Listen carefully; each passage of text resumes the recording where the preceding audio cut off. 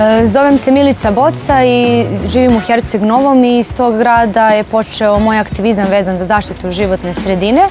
E, Sve je počelo spontano 2019. godine kada sam sa porodicom i sa prijateljima počela da organizujem akcije čišćenja mog grada. Inspiraciju za tu vrstu aktivizma nije bilo teško naći jer je smeća bilo svuda oko nas. Moj najveći uspjeh je što sam jednostavnom organizacijom akcija čišćenja doprla do ljudi koji nikada ranije nisu razmišljali o zaštiti životne sredine. Ni u jednom trenutku cilj mi nije bio da postanem ekološki aktivista, ali sam kontinuiranim organizovanjem akcija čišćenja to i postala.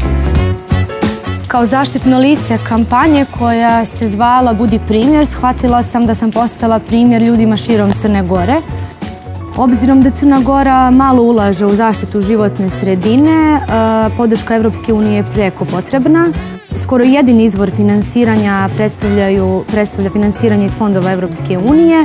Sreća te postoje nevladine organizacije i pojedinci koji e, pišu projekte i dobijaju sredstva iz fondova Evropske unije i time unapređuju e, stanje u našoj državi.